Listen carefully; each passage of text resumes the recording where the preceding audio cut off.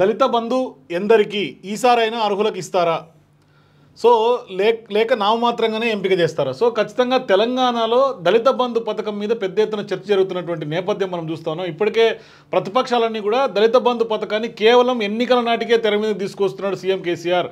మరోవైపు దళిత బంధులో పెద్ద ఎత్తున అవినీతి జరుగుతోంది. సాక్షాత్ కేసీఆర్ ఎమ్మెల్యేల సమావేశంలో ఎమ్మెల్యేల కమిషన్లు నొక్కుతున్న ఎవరో ఎంత కమిషన్లు తీసుకున్నారో కూడా తన వద్ద చిట్టా ఉంది అని కేసీఆర్ చెప్పినటువంటి నేపథ్యం చూస్తున్నాం. మరోవైపు జూలై నుంచి స్కీమ్ కంటిన్యూ చేయాలని సీఎం డిసైడ్ ఏర్పాట్లు చేయాలని అధికారిక ఆదేశాలు ఈ ఏడాది టార్గెట్ పదిహేడు వేల కోట్లు దశాబ్ది ఉత్సవాల్లో దళిత బంధువుడే ఇప్పుడే సాయం చేస్తే ఎన్నికల నాటికి మర్చిపోతారని సర్కారు భావన. సో ఖచ్చితంగా ఇప్పుడే కనుక చేస్తే ఇంకా ఎలక్షన్ రావడానికి ఐదు నుంచి ఆరు నెలల సమయం ఉంది కాబట్టి తీరా ఎన్నికల నాటికి మాత్రమే ఈ దళిత బంధును మరోసారి ప్రజల్లోకి తీసుకెళ్ళే ఆలోచన ఎత్తుగడలో కేసీఆర్ ఉన్నట్టుగా తెలుస్తోంది. ఎలక్షన్ షెడ్యూల్ టైంలో పంపిణీ చేసే ఆలోచన అసెంబ్లీ ఎన్నికల్లో లబ్ధి పొందేందుకు పెద్ద ఎత్తున ప్లాన్ చేశాడు కేసీఆర్. దళిత బంధు పథకం మరోసారి తెర మీదకి వచ్చింది. దశాబ్ది వేడుకల్లో ఒక రోజున దళిత బంధు డేగా నిర్వహించేందుకు కూడా ప్రభుత్వం నిర్ణయించింది. జూలై నుంచి ఈ పథకాన్ని కంటిన్యూ చేయాలని తాజాగా సీఎం కేసీఆర్ అధికారులను ఆదేశించాడు. ఇంతవరకు బాగానే ఉన్న ఈసారి ఎంతమందికి సాయం చేస్తారన్న అనుమానం అర్హుల నుంచి వ్యక్తమవుతున్నది.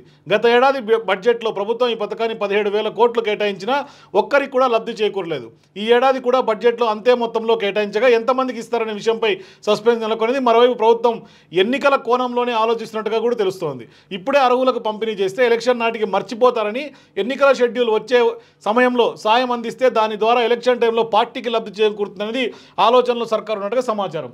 సో పెద్ద ఎత్తున దళిత బంధు పథకాన్ని తెర మీద తీసుకొచ్చి దళిత బంధు ద్వారా డబ్బులు ప్రభుత్వ డబ్బును ప్రజలకు పంచి ఖచ్చితంగా బీఆర్ఎస్ పార్టీ లబ్ధి పొందాలా అంటే ప్రభుత్వం డబ్బును ప్రజలకు పంచి బీఆర్ఎస్ పార్టీ లబ్ధి పొందాలనే ఎత్తుగడలో కేసీఆర్ ఉన్నాడు. గతంలో కూడా హుజూర్ నగర్ ఎన్నికలప్పుడు కూడా సేమ్ దళిత బంధు తెర మీద తీసుకొచ్చాడు. మరోవైపు మునుగోడు ఎన్నికలప్పుడు కూడా దళిత బంధు పెద్ద ఎత్తున ప్రజల్లో చర్చకు వచ్చినటువంటి నేపథ్యం చూస్తున్నాం. సో ఇవాళ అసెంబ్లీ ఎన్నికల నాటికి మరోసారి దళిత బంధును తెర మీద తీసుకొచ్చి పెద్ద ఎత్తున లబ్ధి పొందేందుకు ఇప్పటికే ప్రతిపక్షాలన్నీ విమర్శిస్తున్నటువంటి నేపథ్యంలో ఇది కేవలం ఎన్నికల జిమ్మిక్గానే చూడాల్సిన అవసరం ఉందని చెప్పినటువంటి నేపథ్యంలో ఖచ్చితంగా దళిత బంధును మరోసారి తెర మీదకి ఎన్నికల నాటికి పక్కా ప్రణాళికతో కేసీఆర్ ముందుకెళ్తున్నాడు. ఖచ్చితంగా ప్రభుత్వ డబ్బును పంపిణీ చేసి తద్వారా బీఆర్ఎస్కు లబ్ధి పొందేందుకు మాత్రమే కేసీఆర్ పెద్ద ఎత్తున ప్లాన్ చేస్తున్నాడని మాత్రం ఖచ్చితంగా అర్థం చేసుకోవాలి. సో ఇప్పటికే ఆదేశాలు అయితే అధికారులందరికీ ఆదేశాలు ఇచ్చారు కాబట్టి ఖచ్చితంగా ఆ లిస్టు దళిత బంధు కార్డు తయారు ఇచ్చినటువంటి అర్హులందరినీ కూడా ఖచ్చితంగా గుర్తించి వాళ్ళకు మాత్రమే ఇస్తారు అనేది కేసీఆర్ యొక్క ప్రభుత్వం యొక్క ఆలోచన. సో ఎంతమంది అర్హులకు ఇస్తారు? ఎందుకంటే అప్పట్లో పైలట్ ప్రాజెక్ట్ కింద ఒక కాన్స్టిట్యున్సీనే తీసుకొని ఆ కాన్స్టిట్యున్సీలో కొంతవరకు మాత్రమే ఇచ్చినటువంటి నేపథ్యం చూసాం కాబట్టి సో ఇక ఎన్నికల నాటికి అన్ని నియోజకవర్గాలకు దీన్ని ఎట్లా విస్తరిస్తారనే చర్చ తెలంగాణ వ్యాప్తంగా కూడా ఉన్నటువంటి నేపథ్యం చూస్తున్నాం.